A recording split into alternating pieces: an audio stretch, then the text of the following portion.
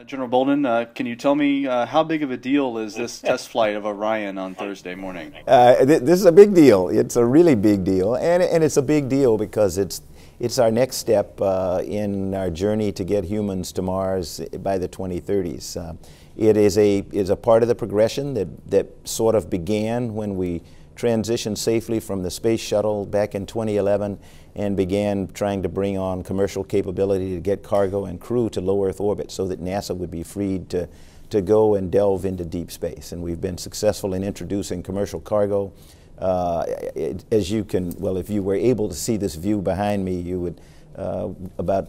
16, 17 days from now, we'll be back down here on the Space Coast with SpaceX launching its fifth mission to the International Space Station, where we have crews that have been operating for more than 14 years now. So uh, the Orion launch tom tomorrow morning is a very, very important next step uh, along this planned uh, evolution of getting humans to, to Mars in the 2030s.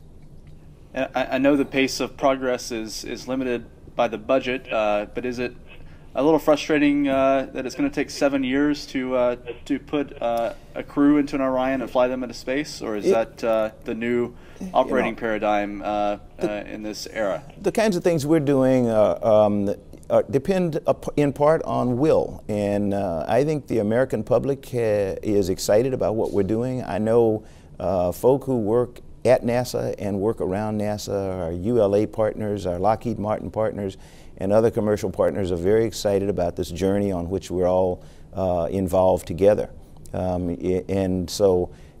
as you demonstrate the ability to do things that you said you were going to do, as we have put cargo on the International Space Station through commercial means, as we are developing uh, crew vehicles with American companies who will launch right here from the, the Kennedy Cape Canaveral complex uh, in 2017, as we hope. Uh, it's those kinds of things that, that develop the confidence and, uh, and the courage to go even farther. So tomorrow morning when we launch Orion, it will be a very important step in, in showing us that we have developed a vehicle that can withstand the, the pressures and temperatures of reentry from uh, places like lunar orbit or Mars, uh, that show us that we've got a recovery system, three parachutes that really do work, and we have a, a, a, a control system, communication, or uh, navigation system that works satisfactorily for what we want. So three big objectives for that mission in the morning that will make us one step closer to being able to do what we want to do, which is put humans in it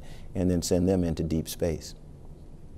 And I know one of the first missions for Orion with people, uh, NASA plans is the asteroid retrieval mission and uh, uh, you know the support for that uh, project within uh, certain circles of your stakeholders uh, maybe less than less enthusiastic than NASA may have hoped.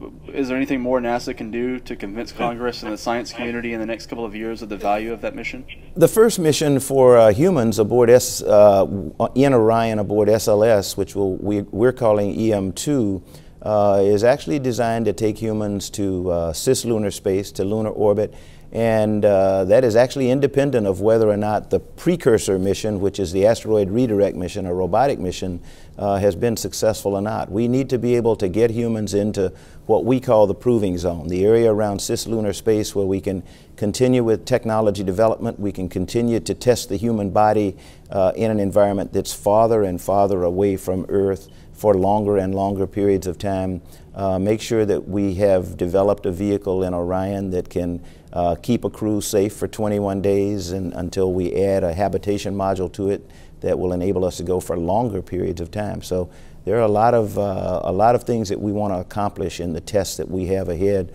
for Orion, first in two uncrewed flights and then in, in the uh, EM2 with the first crewed mission. Very important things for us to learn.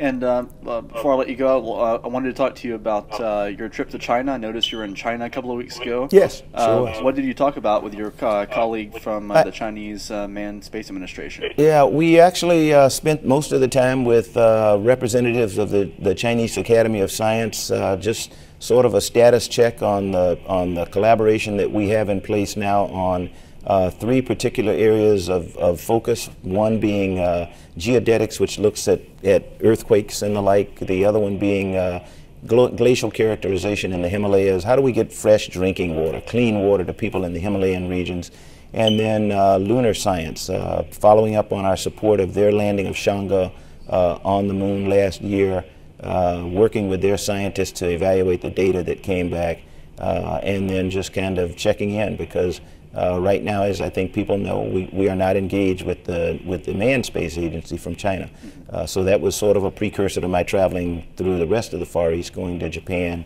uh, and then back home uh, after after a very successful trip.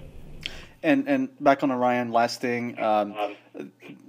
you know, with NASA having worked on this program for, uh, I guess, more than eight years now, uh, is it particularly sweet for for uh, people within the agency to finally be flying this vehicle after so many years? Oh, of, of anytime you're flying, it's particularly sweet. Uh, you know, it's uh, it will really be exciting for the for the folk though who have been focused on Orion for the last few years, because as I mentioned earlier, it, it is a golden opportunity. It is it is the opportunity to demonstrate that the vehicle performs the way that we intended it to perform. First of all uh, and that it is ready to, to get ready to go to, um, to fly integrated with SLS. So it, it, it's a big day for us.